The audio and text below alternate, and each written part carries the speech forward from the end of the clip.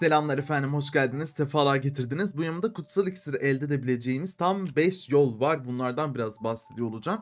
Özellikle bir tanesi sadece savaş biletiyle satın alınıyor. O yüzden 4 diyebiliriz eğer hani ücretsiz bir şekilde takılacak olursak.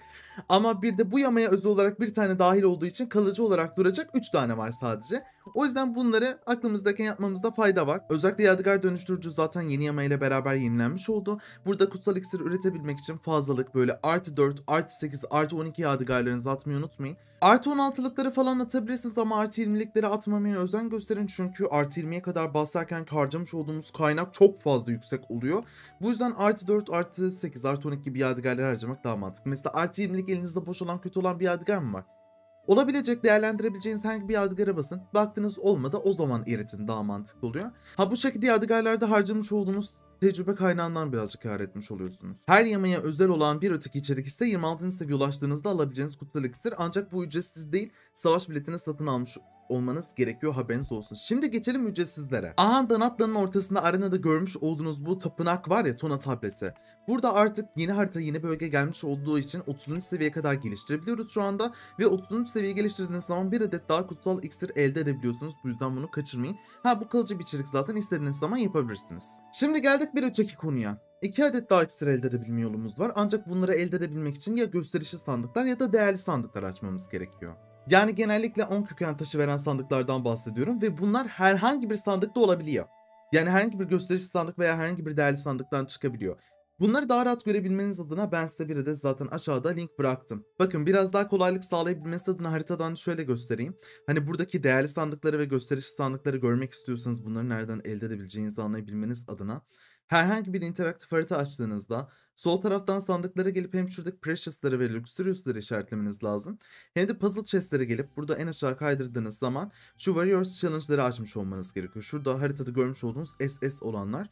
Bunlarda eğer ki SS derecesinde işte zamana karşı olan mücadeleyi bitirirseniz 3 adet sandık veriyor. İşte sıradan, zarif ve değerli olmak üzere. Buradan gelecek olan değerli sandıklardan da yine bilezik çıkabildiği için, halka parçaları çıkabildiği için önemli. Bunları da yapın mutlaka. İki farklı bölge olarak geldiği için bizim bu haritamız iki farklı halka çeşidi var ve bunlar belirli bölgelerde çıkıyor. Mesela şu aşağı kısımlarda kalan gece rüzgarlarının ustaları kısmı yani şurada göstermiş olduğum, masumunu göstermiş olduğum kısımda Sadece maviler çıkıyorken işte biraz daha yukarı çıktığınız zaman çiçek tüyü olan kısımlarda. Ha buradan ise kızıl obsidyen parçaları çıkıyor. Yani demem o ki mesela siz bu aşağıdaki bölgeden 3 adet parça elde ettiniz.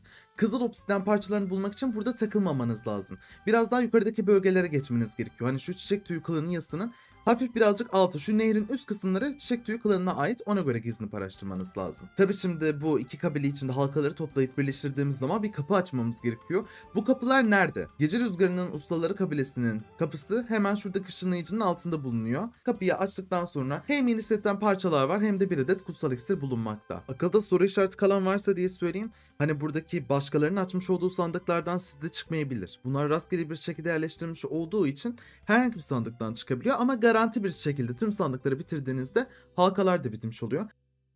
Çiçek tüyü klanına geçtiğimiz zaman buradaki itibar kısmına ışınlanın. İtibar kısmına ışınlandıktan sonra yine aşağı doğru uçuyoruz ve alın size yine kapı. Buradan da yine 5.0'da eklenmiş olan yadigar parçalarını ve aynı zamanda iksiri elde edebiliyorsunuz. Ve toplamda bu şekilde 5 adet iksir elde edebiliyorsunuz. Ben ikisini kullanaraktan bir adet yadigar ürettim. Aylardır aradığım element ustalığı saatini bastım en sonunda yani fena olmadı. Tabi yani iksirlerin en kötü yanı maalesef ki siz her ne kadar oran veya hasar seçtiğinizde seçmiş olduğunuz niteliklerin her zaman ona gideceğinin bir garantisi yok.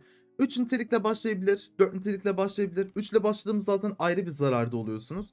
Çok şans meselesi ya. Vallahi çok şans meselesi. Umarım bu iksirlerle beraber basacağınız kupa, yadigar artık ne olursa şansınız yaver gider de artık karakterlerinizi çok daha rahat toparlayıp daha güçlü hale getirebilirsiniz. Tabi bu yadigar konusu açılmışken aklıma da geldi. Söylemeden geçmeyeyim istedim. Honkai Star Rail ile de önümüzdeki yamada diyelim ki siz bir yadigara bastınız. Alt niteliklerde kritik oran, kritik hasar, defans ve atak var diyelim ki. Bunların çoğu defansa gitti. Siz buna bir defalık veya kaç defalık olduğu tam açıklanmadı ama zar kullanarak alt niteliklerde giden o defansı bir şekilde geri çekip kritik oran veya kritik hasar gitmesini sağlayabiliyorsunuz. Yani buradaki şansımı ben artı 20'ye bastım istediğim kadar kritik orana kritik hasar gitmedi. Hop bir daha şansımı denemek istiyorum deyip denetebiliyorsunuz artık.